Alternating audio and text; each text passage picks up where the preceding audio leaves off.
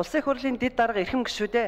Монгол Улсын засгийн газраас 2023 оны 1-р сарын 9-ны өдөр улсын хурл өргөн мэдүүлсэн нийгмийн даатгалын ерөнхий хуулийн шинжилсэн найруулгын төсөл болон хамт өргөн мэдүүлсэн бусад хуулийн төслүүдийн үзэл баримтлалын хүрээнд хэлэлцэх эсэх асуудлыг нийгмийн бодлогын байнгын хороо 2023 оны 1-р сарын 10-ны өдрийн хуралдаанаараа хэлэлцлээ. Хуулийн төсөлд нийгмийн даатгалын тогтолцоо, зарчим, төрөл, хэлбэр, хамрах хүрээг тогтоох, нийгмийн даатгалд даатгуулах, шимтгэл төлөх, нийгмийн даатгалын сан бүрдүүлэх, уг сангийн хөрөнгийг хуваарлах, зарцуулах, тайлагнах, хяналт тавих болон нийгмийн даатгалын үйл ажиллагааны эргэцээ үндсийг тодорхойлох харилцааг тусгасан. Мөн даатгалын сангийн хөрөнгө хөрөнгө оруулалтын удирдлага мэдээллийн нэгдсэн сан цалин хөлс түүнтэй адилдах орлогын ихтгэл цүр шимтгэлийг нөхөн төлөвлөх, буцаан олгох, тэтгэврийн нөөц санг бүрдүүлэх, нэрийн дансыг мөнгөжүүлэх, мөнгөжүүлсэн орлогыг өвлүүлэх, шимтгэлийн үр хөн хилэлцэх хугацааг тогтоох, нийгмийн даатгалын сангийн хэтийн тооцоолол хийх, сангийн эрсдлийг үнэлэх, санал дүгнэлт гаргах чиг үүрэг бүхий мэрэгжлийн хороог ажилуулах, нийгмийн даатгалын байгууллага ажилтнуудын үүрэг хариуцлагыг нэмэгдүүлж, үйл ажиллагаа нь ил тод нийгмийн даатгалын тогтолцоонд итгэх олон нийтийн итгэл үнэмшлийг дээшлүүлэх зарчмыг хуулийн төсөлд тусгасан байна.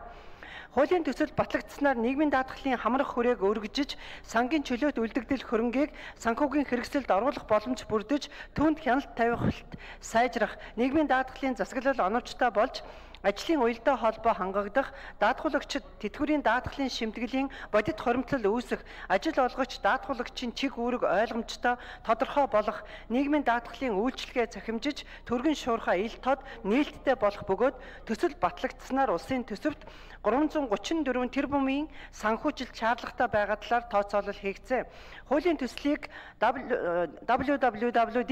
цагийн сахин сайтад байршуулж иргэд олон нийтийн саналыг авч байгаа болно. Байнгын хорооны хуралдаанаар хуулийн төслийг хилцэхэд улсын хурлын гишүүнцээ Идэрбат нийгмийн даатгалын хөрөнгийг арилжааны банкнд байршуулахад баримталж байгаа зарчим, сонгон шалгаруулалтын асуудал, тэтгэврийн санг, баялагын сантаа уялдуулах, засаглал менежментийг сайжруулах чиглэлээр хуулийн төсөлд оруулж буй шинжиллийн талаар. Улсын хурлын гишүүн Оюун Чимэг хуулийн төслийг боловсруулахтай холбогдох яамдын саналыг авсан эсэх талаар мөн хуулийн төслийг хэрэгжүүлэхэд улсын төсвийн санхүүжилтийн нөөц боломж байгаа эсэх талаар улсын хурлын гишүүн Саранчмэг хуулийн төслийн гол менежментийн шинжилт болон салбарын эрдэмтэн судлаачдаас санал авсан эсэх талаар улсын хурлын гишүүн Чимбүрэн групп тогтоологсон иргэдийг 2 жил тутам эмнэлэг хөдөлмөрийн магадлах комиссар оруулдаг байдлыг хэрхэн цэгцлэх хуулийн төсөлтэй холбоотой гадаад орны туршлагыг судалсан эсэх талаар улсын хурлын гишүүн Одон Туяа тэтгэврийн нөөц сан болон сайн дурын давхар даатлахтай даатгалтай байх зохицуулалт шинжилсэн найруулгын төсөл хэрхэн туссан талаар мөн хүнд хэлбэрийн хөгжлийн бэрхшээлтэй хүүхдээ гэртээ хардаг өрх толгойсон ээжүүдийн нийгмийн даатгалын шимтгэлийг төрөөс төлөх зохицуулалт хуулийн төсөл туссан эсэх талаар улсын хурлын гишүүн Туваан хуулийн төсөл тэтгэврийн зөрүүг арилгах чиглэлээр ямар зохицуулалт туссан талаар богино хугацаанд өндөр шимтгэл төлж тэтгэврээ өндөрөөр тогтоологсон хүмүүсийн асуудлыг хэрхэн шийдвэрлэх тэтгэврийн доод хэмжээ нэмэгдүүлэх зөрүүг арилгах талаар эдийн засгийн тооцоолол хийгдсэн эсэх талаар талаар улсын хурлын гишүүн жаргалмаа нийгмийн даатгалын санг сангийн капитал банкнаас авах хөр авлагын асуудал хүнд хэлбэрийн хөгжлийн бэрхшээлтэй хүүхдээ асарч байгаа эцэг эхчүүдэд олгох тэтгэмжийн асуудал хөгжлийн бэрхшээлтэй иргэдийн хөдөлмөр эрхлэлтийг дэмжих тэтгэмжийг 16 нас хүртэл олгож байгааг 18 нас болгож өөрчлөх талаар салбарын яам ямар бодлого баримталж байгаа талаар асуулт асууж хариулт авлаа. Хуулийн төсөлтэй холбогдуулан улсын хурлын гишүүн чин зэрэг нийгмийн даатгалын санг баялагын сангаас нэг удаа мөнгөжүүлэх боломж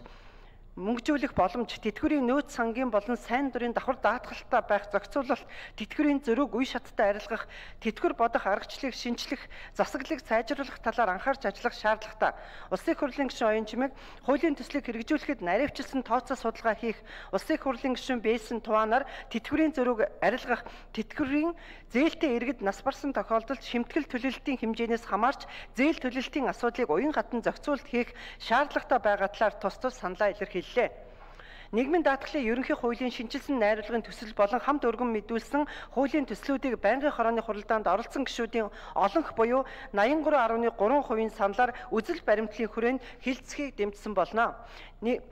Улсын хурлын эрхэм гишүүдээ нийгмийн даатгалын ерөнхий хуулийн шинжилсэн найруулгын төсөл болон хамт өргөн мэдүүлсэн нийгмийн даатгалын тухай хууль хүчингү болсон тооцох тухай нийгмийн даатгалын тухай хуулиудыг хэрэглэх журмыг хууль хүчингү болсон тооцох тухай ахмад насны тухай хуульд өөрчлөлт оруулах тухай гайлын тухай хуульд өөрчлөлт оруулах тухай дипломат албаны тухай хуульд өөрчлөлт оруулах тухай шүүхийн шийдвэр гүйцэтгэх тухай хуульд өөрчлөлт оруулах тухай төр сүм хийдийн харилцааны тухай хуульд өөрчлөлт оруулах тухай эрүүл мэндийн даатгалын тухай хуульд өөрчлөлт оруулах тухай малчин хуваарь хөдөлмөр эрхлэгчдийн тэтгэврийн даатгалын шимтгэлийг нөхөн төлөөлөх тухай хуулийг хүчингү тооцсонд Хүчингү болсон тооцох тухай, төсвийн тухай хуульд өөрчлөлт оруулах тухай, хөгжлийн бэрхшээлтэй хүний эрхийн тухай хуульд өөрчлөлт оруулах тухай, банкны тухай хуульд нэмэлт оруулах тухай, зөрчлийн тухай хуульд нэмэлт өөрчлөлт оруулах тухай, татварын ерөнхий хуульд өөрчлөлт оруулах тухай, хөдөлмөрийн тухай хуульд өөрчлөлт оруулах тухай, зөвшөөрлийн тухай хуульд нэмэлт өөрчлөлт оруулах тухай, татварын зарим хууль болон нийгмийн даатгалын тухай хуулийг хэрэгжүүлэх тухай хуульд өөрчлөлт оруулах тухай, донорын тухай хуульд өөрчлөлт оруулах тухай, нийгмийн даатгалын сангийн 2008 оны төсвийн тухай хуульд өөрчлөлт оруулах тухай, нийгмийн даатгалын сангийн 2009 оны төсвийн тухай хуульд өөрчлөлт оруулах тухай, нийгмийн даатгалын сангийн 2010 оны төсвийн тухай хуульд өөрчлөлт оруулах тухай, нийгмийн даатгалын сангийн 2011 11 оны төсвийн тухай хуульд өөрчлөлт оруулах тухай, нийгмийн даатгалын сангийн 2012 оны төсвийн тухай хуульд өөрчлөлт оруулах тухай, нийгмийн даатгалын сангийн 2013 оны төсвийн тухай хуульд өөрчлөлт оруулах тухай, мөн 14 оны төсвийн тухай хуульд өөрчлөлт оруулах тухай, 15 оны төсвийн тухай хуульд өөрчлөлт оруулах тухай,